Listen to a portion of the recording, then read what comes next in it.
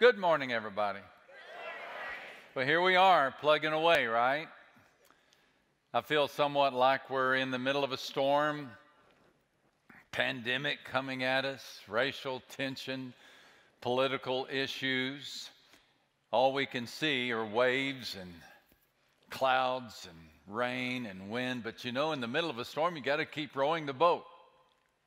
The last thing you do is jump out. So, God bless you. God bless you for being here today, putting the oar in the water and keeping your faith afloat. If you're watching online, God bless you. We've got people all over the world tuning in to these services. May God bless you. And if you're passing through a time of, of uh, personal difficulty, our prayers are with you. They really, really are. May the Lord give you strength and may He bless you. May He bless you. Uh, I need to convey our, our sympathies to the family of our dear brother Rafael Rosales. Rafael has served as a missionary uh, to his native El Salvador as sponsored by our church now for 22 years. He passed away recently. Uh, Rafael had a deep appreciation for God's grace, a deep love for his El Salvadorian people. He had passed through many personal trials in his own uh, childhood, uh, had actually immigrated at one point into Canada. I recall meeting him a quarter of a century ago when he and his family were, were on a trip into the United States and they came by our, our church building. He wanted to meet me. He had read a book I'd written, uh, one of my earliest books, and we had a delightful congregation, conversation. And uh, who would have thought that out of that would come a, a friendship and partnership that would last for a quarter of a century? He's in heaven now. He's in heaven. He's been delivered. Uh, and so we know that he is at peace. Our thoughts and prayers are certainly with his wife Raquel and their three children Ernesto, Rafi, and Sandra. Many of you know we have a missionary garden, and um, it's on the south side of our facility here. He chose Philippians 1:21 as the scripture for his plaque. And that scripture reads, For me to live is Christ, and for me to die is gain. Heavenly Father, grant now your mercy upon this family. What a blessing they have been, continue to be. We thank you for a life well lived in the form of Rafael. And we pray a blessing upon his wife and children. May you bring comfort to them, and may you bring a blessing to the sweet church that he has led for many years in El Salvador. And now, Heavenly Father, have mercy, please, upon our speaker. You know his sins are many. And help us to see Jesus and just Jesus. Through Christ I pray. Amen. Amen. Amen. Well, there have been some complaints that I have not told enough jokes during this sermon series. And so, as we begin to wrap this sermon series up, I've dug through the files and I thought, now here's a good one. Doesn't have anything at all to do with the sermon, but it's a good joke. It's a good joke. The fella came in from playing golf with his friend, the doctor, and his wife said, How was golf today? He said, Well, how would you like it if somebody yelled in your backswing? She said, I wouldn't like it. How would you like it if somebody stepped on your ball when it's sitting there in the fairway? She said, I wouldn't like it. He said, How would you like it if somebody poked you with the putter right when you're about to putt? He said, I wouldn't like it. Or she said, I wouldn't like it. He said, Neither does the doctor. See, I, that's why I don't tell jokes. You don't laugh at them. There's a big bug in the middle of Enterprise, Alabama. It sits on the statue of a Greek woman. She has white marble arms that extend high above her head, somewhat like the Statue of Liberty. Unlike her more famous counterpart, however, this Alabama lady does not hold a torch. She holds a bug. Well, strictly speaking, she holds a bowl, and there's a bug in the bowl. The bowl is the boll weevil.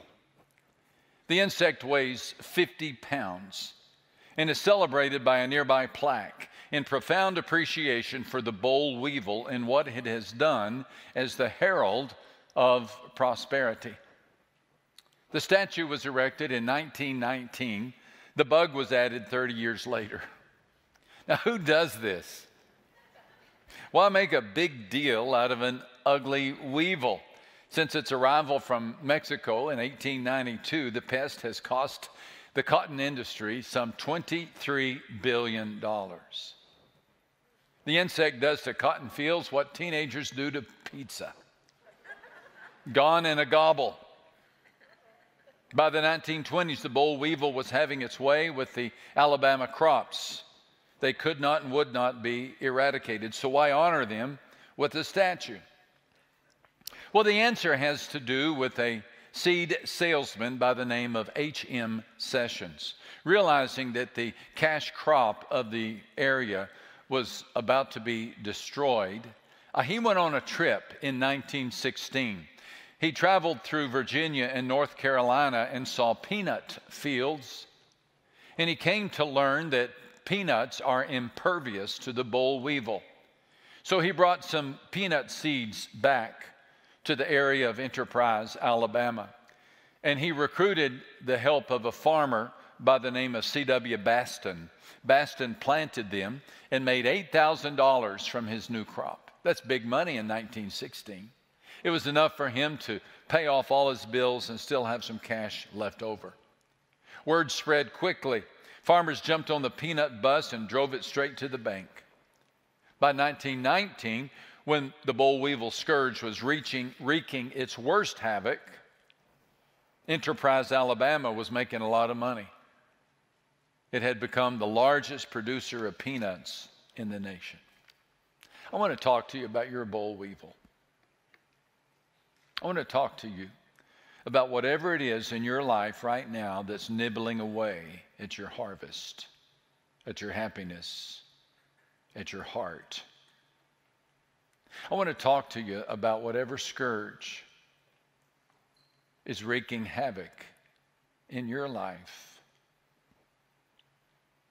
For many people, most people, it would be a pandemic.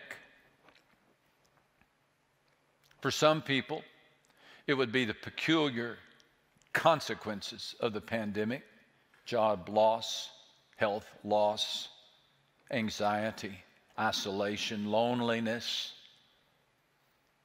For many people, the pandemic has already only has served to exacerbate already existing struggles and fractures in marriages, in careers, in families. These are tough days. So I want to talk to you about your boll weevil. And I'm wondering if you'd be willing to reframe the way you see this plague. You know, the boll weevil has taken much for sure, but had there been no bug, there would have been no peanuts, or in your case, no struggle would mean no strength, no mountain means no mountain peak.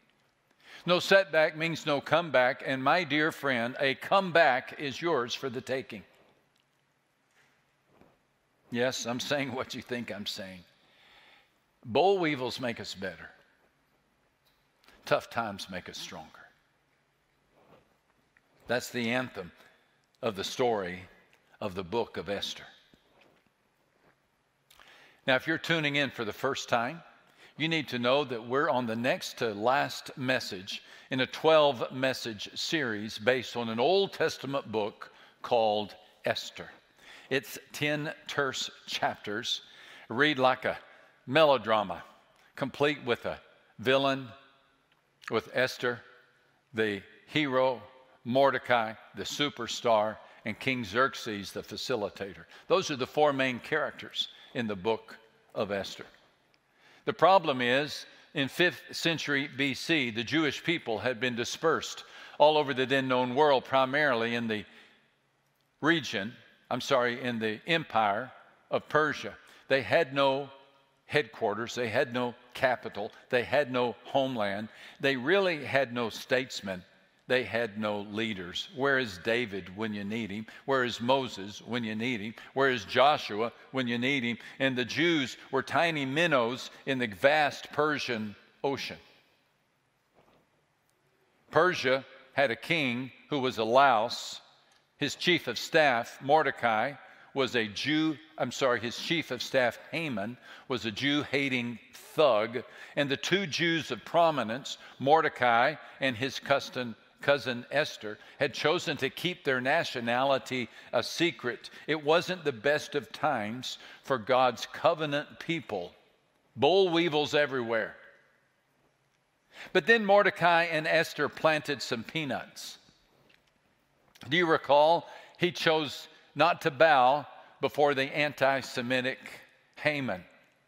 And when he chose not to bow, that set in motion a series of events that resulted in Esther taking a stand for her faith, that resulted in the destruction of Haman, who wanted to kill all the Jewish people. Haman himself was killed on the gallows he erected for Mordecai.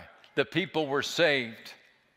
And the plan for annihilation was, according to Esther chapter 9 and verse 25, turned back onto its head. And chapter 10 and verse 3 Mordecai the Jew was second in rank to Xerxes, preeminent among the Jews, held in high esteem by his many fellow Jews because he worked for the good of the people and spoke up for the welfare of the Jews. So everything turned out greater than they could have ever imagined.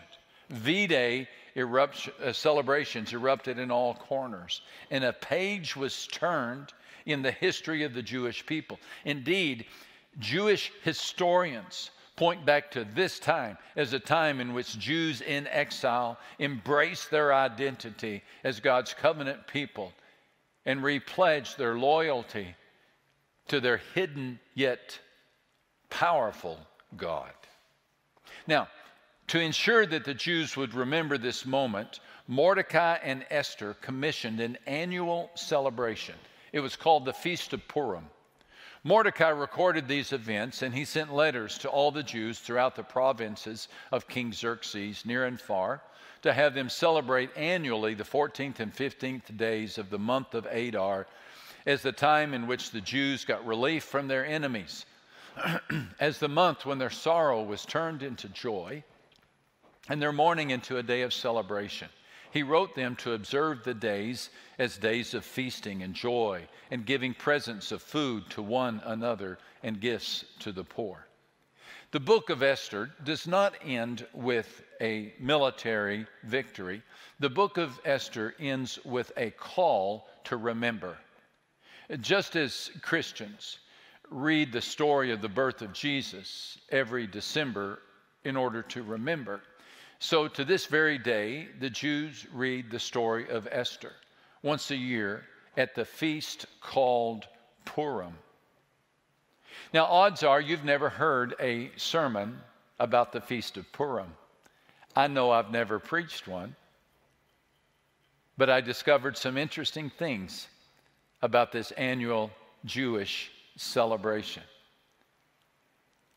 Purim holidays are rowdy affairs a bit like Mardi Gras. Uh, lots of costumes, dancing, eating, gift giving, and drinking. As the story is read, the audience reacts. Haman's name prompts boos and hisses and shouts. The idea is to muffle the very sound of his name. There is a controversial passage of the Talmud in which Jews are instructed to drink wine until they can't differentiate between the phrases, Cursed be Haman and Blessed be Mordecai. That practice is really not recommended for the church. A more reasonable practice would be the baking of the hamantashen, hamantashen, a three cornered jelly filled pastry.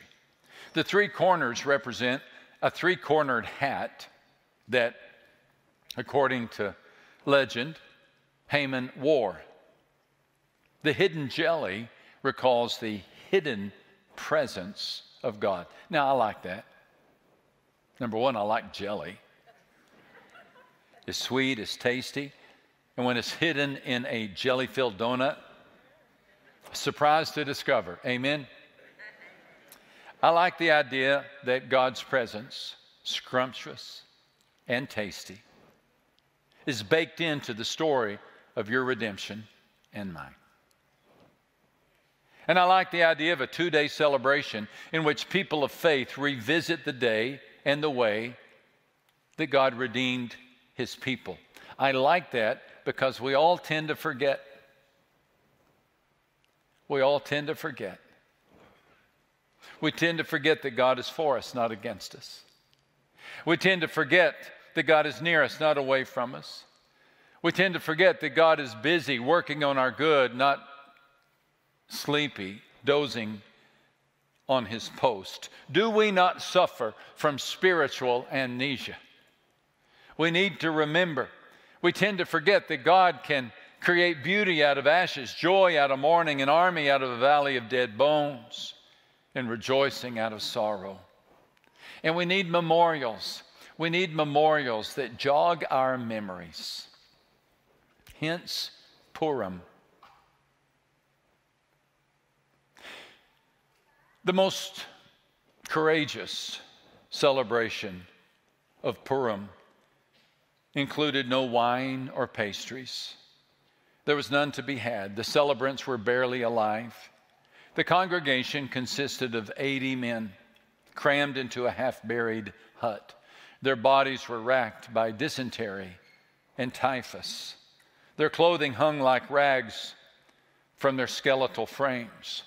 They subsisted on a daily portion of bread and soup. They had no hope, they had no solution. They were prisoners of Auschwitz.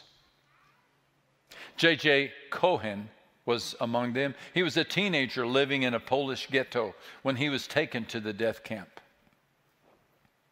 He survived the Holocaust and later remembered the day the prisoners remembered Purim. He recalled how they took a fragment of potato and a small piece of bread and passed it from person to person in order to fulfill the tradition of giving gifts to one another. It fell to young Cohen to relate to the others out of his memory the story of Esther. Here's how he described the moment. When I read aloud about Haman's downfall, the spark of hope deep inside every Jew's heart ignited into a flaming torch. When I finished, everyone cheered. For a brief instant, the dreadful reality of the death camp had been forgotten. All the hunger and suffering had receded having exerted all my remaining energy in the reading of the story, I sat breathless, but with my spirit soaring. And like a river overflowing its banks, the festive atmosphere and the vision of redemption burst out of the broken hearts of the camp inmates. I try to envision those men, skeletal men encircled by the harshest winter to ever be imposed upon a people. I incline my ear into this moment to try to hear their cheer, anemic yet triumphant. And I wonder, I wonder what kind of story can do this? What kind of story can cause dead men walking to rise up in hope? And I wonder do we not need that kind of story today? Do we not? Folks, we are worn out. We are worn out. The year has taken its toll upon our country. Cases of depression and anxiety are at an all time high. there's a 26% spike in applications for divorces. We are worn out. And most tragically, the suicide rate continues to increase. We are in desperate need of hope. We're in desperate need of a Purim celebration. We're in desperate need of a story of redemption. And by God's great grace, we have one. We have one. The Christian version of the Persian miracle involves not Esther in Susa, but God's Son, Jesus Christ, buried in a tomb. And just as Haman declared a death sentence on the Jews, Satan declared a death sentence on the source of life himself.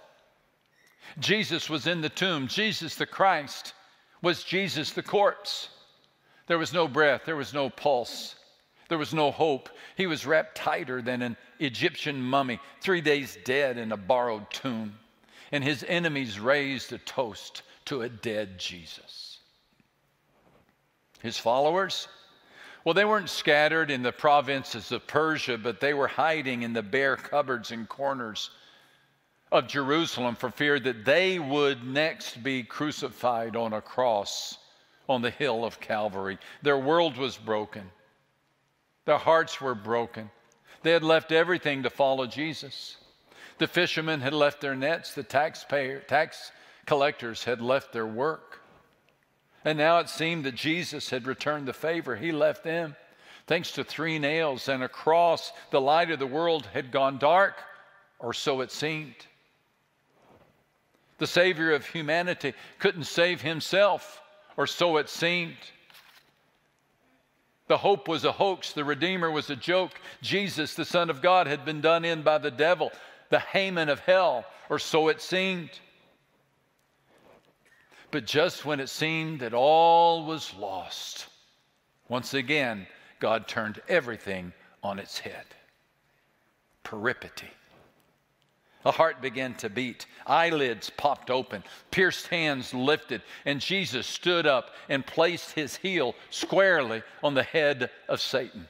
And as Peter would preach, Christ was not abandoned to Hades, nor did his flesh see corruption. And the God of the great turnarounds performed his greatest work. And so that we would never forget this moment, Jesus gave us our Purim celebration. On the eve of his crucifixion, Jesus took some bread and he gave thanks and he broke it. And he gave it to the apostles, saying, This is my body, which I am giving for you. Do this to remember me. In the same way, after supper, Jesus took the cup and said, This cup is the new agreement that God makes with his people. This new agreement begins with my blood, which is poured out for you. Now, these words are precious to Christians. But don't you think they were curious to the apostles? Phrases like a broken body, spilled blood, can anything good come from this? In you, you're asking similar questions. Can anything good come from a world gone crazy? Can anything good come from a job that you've lost? From a marriage on the rocks? Can anything good come from these boll weevil attacks? Esther says yes. Easter says yes. Purim says yes. Communion says yes. This is the promise of God. It only falls to you and to me to receive the promise, to receive the bread, to receive the cup, to say yes yet again to keep rowing the boat, to not throw in the towel, to not give up on life, to not cave in to despair. Some time ago, I received an email from a friend. He had just returned from the funeral of his 96 year old aunt. He wanted to tell me about it. Max, until about a year ago, you couldn't keep up with my Aunt Wanda. She had such energy, you just couldn't believe it. Her eyesight was failing so completely that her energy almost made it dangerous to go to unfamiliar places with her. Her eyes couldn't see the crack in the sidewalk that she was about to trot over at 90 miles an hour. About a year ago, she started having difficulty breathing. The doctor found a mass in her chest that was almost certainly cancer. But at 95, there was little reason to do surgery, even exploratory. The better plan was to keep her comfortable. It was only in the last three days of her life that the mass became painful to the point she needed medication to fight the pain. It became so severe so quickly that she was given enough morphine to sedate her and basically keep her in an unconscious state. But as she began to pass from this world into the next, her sight became clear. She was released of the pain, and even in her unconscious state, she began to have conversations with those who had gone before her. She saw her mother, who was her best friend, and talked to her. And my favorite part, she saw my dad and their brother. My dad and their brother, Uncle Marvin, were constantly playing practical jokes on their sister, Aunt Wanda. She always referred to them as the boys, or these boys, or those boys. I have no idea what they did or how they greeted her at heaven's door. But whatever it was made her laugh so hard, she literally pulled her legs up to her chest and doubled over laughing. I can't believe you boys, she said. Oh my goodness, you boys. And she literally took her last breath laughing. I can't wait to find out what she saw. But she saw something grand. What kind of God is this that we serve who can take even the moment of death and turn it into a moment of delight? Who can take a moment of sadness and turn it into a moment of joy? Who can take the moment of tears and turn them into laughing and celebration? What kind of God is this? Let me tell you, it's the God alive in the days of Esther. It's the God alive in the joy of Easter. And He is the God who is alive today. Simply falls to you and me to receive the cup, to receive the bread. So I close this message as earnestly as I possibly can because I know, I know, I know, I know that someone somewhere is hearing these words who is at the end of the rope.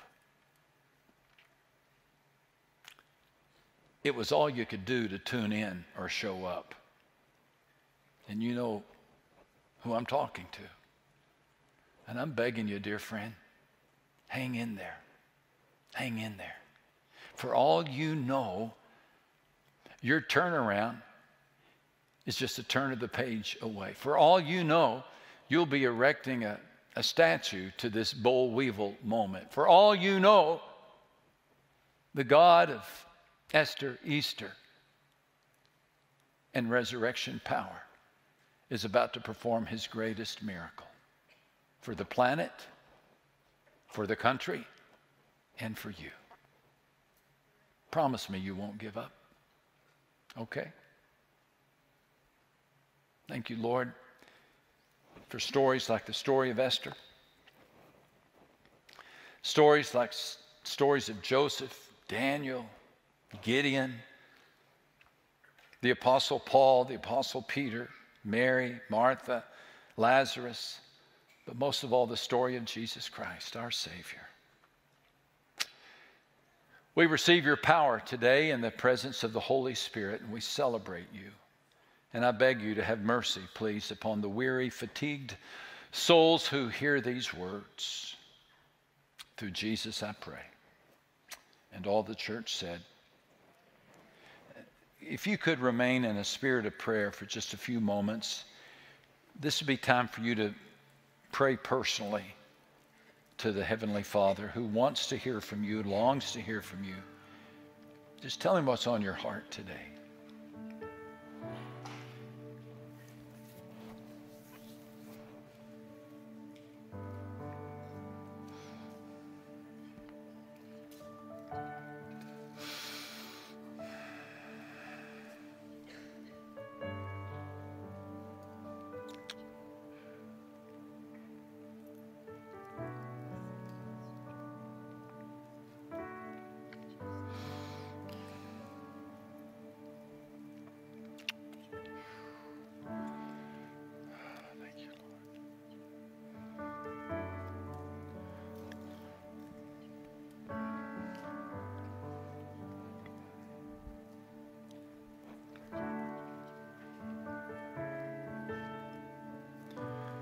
Blessings, Lord, blessings upon your church, upon all these precious, precious children.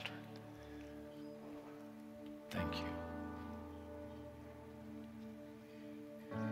Hear their prayers, please. Hear their prayers.